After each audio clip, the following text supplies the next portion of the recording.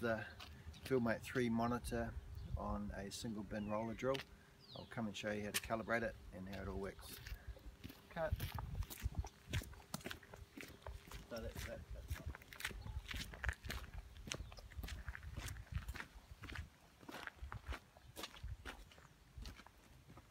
So just explaining the gear on it. So seed bin, we've got the electric motor running the Accorda metering unit.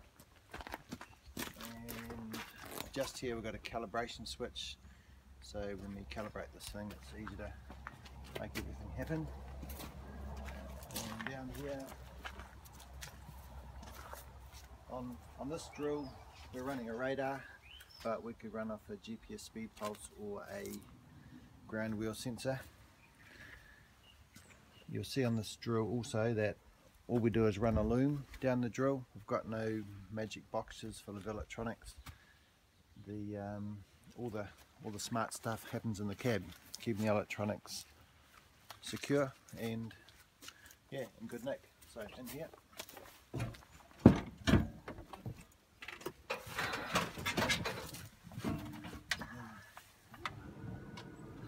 So we've got the Fieldmate 3 monitor.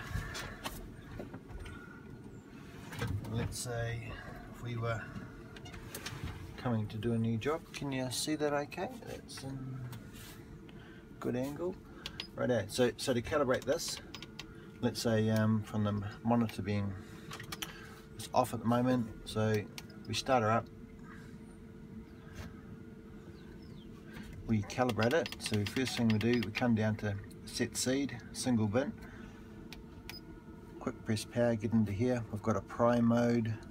We want to go into this so we can run the switch on the drill. Hold the arrow key. Now it's waiting for us to push the calibration button on the drill. So we head down the back.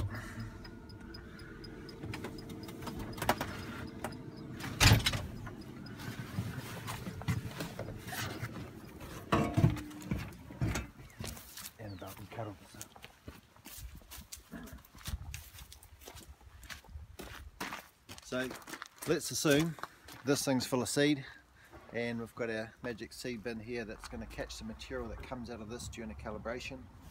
So all we've got to do is push this button here and the motor starts. In calibration mode we spin the motor 10 times and all the while that's happening the materials coming out of here would be putting it, catching it into a container then we would weigh it and that magic weight from the calibration cycle is entered into the monitor. So you can see the motor slowing down now and that's done a perfect 10 turns. For whatever reason you want to run the calibration again, put your empty seed bucket under here to catch the material and just hit the go button.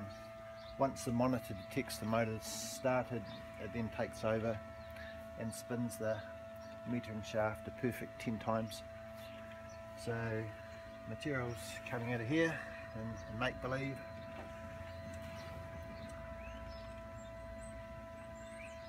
And you hear the motor rev down towards its last last turn. There she goes. Stops. So let's assume we've captured our material, we've weighed it, we've got the magic weight, we'll enter it into the monitor. Let's say it's 300 grams we've got out of this thing.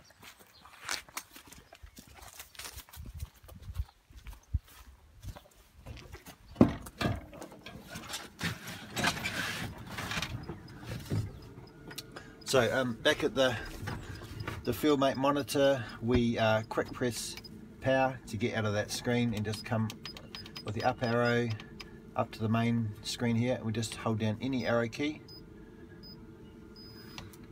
And this is the edit seed screen. We want to enter the weight we've highlighted weight here. Hold down the arrow key. Now we said we got 300 grams back there so we just adjust this number here to get 300 grams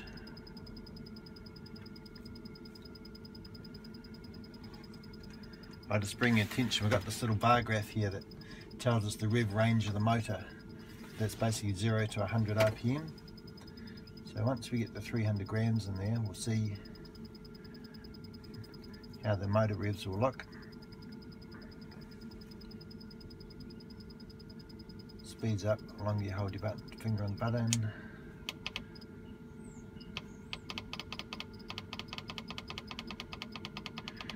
Heating for 300 grams.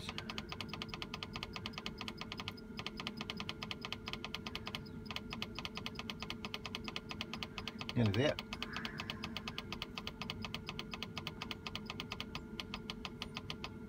Rightio. So the other thing to do is our drilling rate. So we know that the bin pushes out 300 grams in calibration. Now we just want to tell it what our kgs per hectare are. So in this case, we'll stick them down to um, five kilograms a hectare.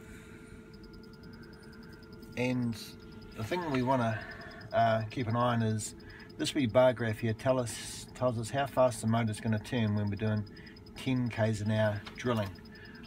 So as we bring this down to our 5 kilos a hectare setting, you'll see automatically how the this rev's been back calculated to tell us how things would be looking if we were doing um, 10 k's an hour while drilling.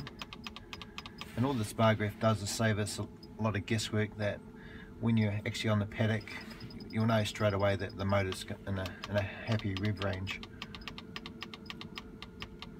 So we've got 5 kgs a hectare. When we're drilling at 10 k's an hour, the motor's going to be doing 20 RPM, and I'd be pretty happy with that. Um, if the motor was revving way up here at say 100, if we make the metering unit push out more material, that'll automatically bring down this this rev.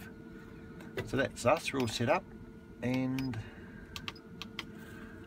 we're in business. So our rates five kilograms a hectare and that's us all set cut